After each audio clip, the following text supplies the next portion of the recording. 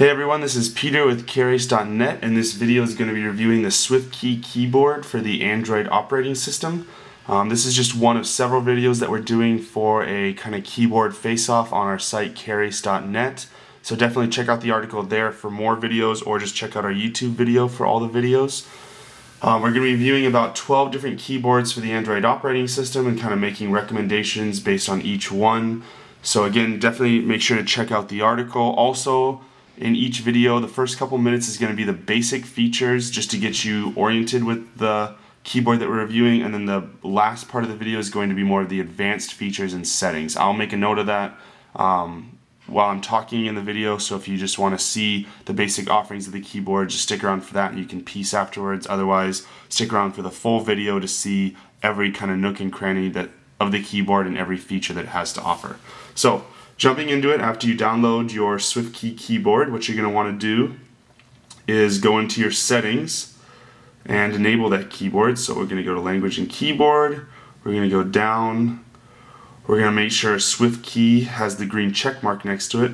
Also, what you're going to want to do is go into your SwiftKey settings, go to your language modules, language module selection, and select the language you want. You want to make sure you do this before starting SwiftKey so that it can download the appropriate dictionary to help predict words. Otherwise, it's almost a useless keyboard if you don't select your language. So definitely make sure to do that first. So let's go into our messaging application. To enable SwiftKey the first time, what you're going to want to do, let's just delete that real fast, is long press on your input bar and select your keyboard from the list of installed keyboards and activated keyboards you have. So we're just going to click on SwiftKey Trial.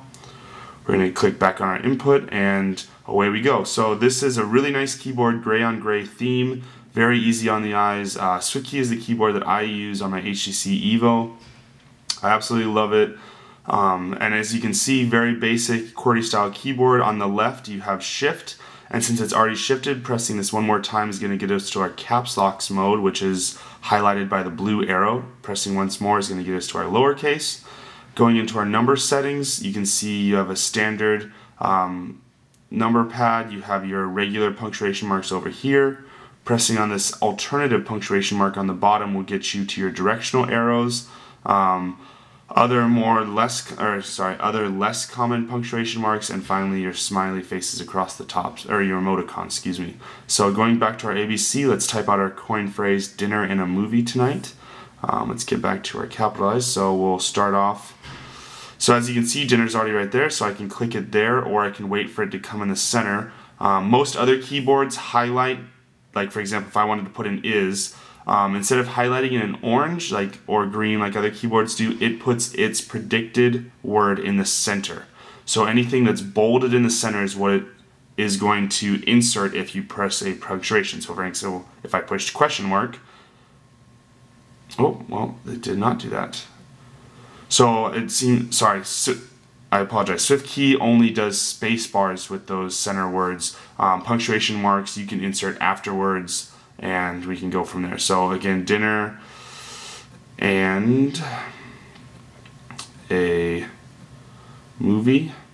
Again, I'll do this one more time to show you it does not do the question mark, or it does do the question mark in incompleted words, but to do the movie you have to push space and then it inputs the movie, then you push question mark on the side. So again, um, that's how you input on the SwiftKey method.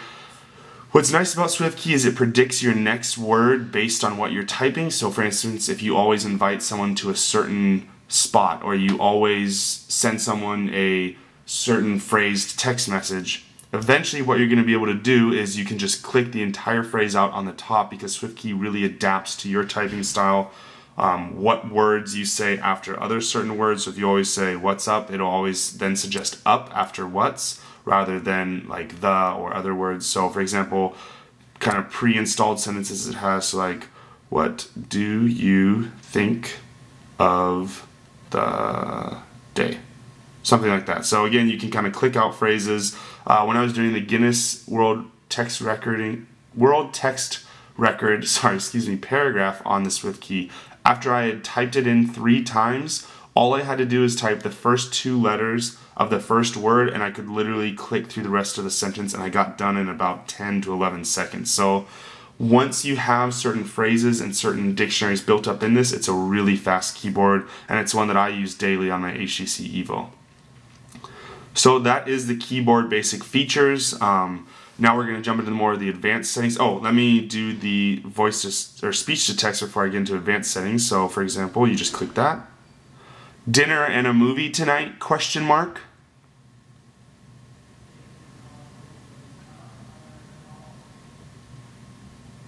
Sorry, our Wi-Fi is kind of slow. Okay, so perfect. Um, it kind of shortens the phrase if you don't want to say tonight, or you just click that, inserts the phrase, and you're good to go. So that again is the basic settings and we are going to now jump into the more advanced ones. So hold down your microphone key, oops, sorry, hold down your microphone key to get to your settings. Um, it has a guide on how to use. You can go to your language modules to change your languages. What's kind of cool about SwiftKey is your usage stats. So right now, by using Swift, SwiftKey, you have saved 35 keystrokes, making you 45% more efficient after you use it for a while, let me kind of show you. So on our Swift key, let's just jump in to a new message. And we'll go to our settings. Since I've used it for a while, I'll kind of show you what mine looks like. So you should stats on mine. You've saved 2,700 keystrokes, making you 25% more efficient. So again, it's gonna be it's gonna be based on how frequently you type the same phrase, how frequently you use those keywords above, but again, really great system and the one that I use on a daily basis. So let's jump back into here and we'll show you more of those settings. So go into your input settings and this is going to have everything. So you can choose your keyboard layout to be any of those four selections. You can go your autocomplete will basically complete the word and insert a space if you push the space bar when your keys when your word predicted is in the middle. Auto accept means the space always selects the middle space always selects middle prediction. Sorry, I can't talk today. Um, again, auto caps, pretty standard stuff. Voice recognition, acoustic feedback is just playing a sound every time you push a key. Haptic feedback is vibrating every time you push a key. Um, long press duration, so time needed to basically long press to get those alternate symbols and to long press for your numbers. So I'll show you that in a second. So right now it's at 800 milliseconds. Um, you can set that, which is kind of nice. And then the gesture sensitivity. So 25% of keyboard for your gestures. So going back up here, again, these are kind of all the settings for it. Let's test some of those out. So we'll go into our messaging. So for instance, that 800 milliseconds is how long you have to long press right there to get this menu. Um, and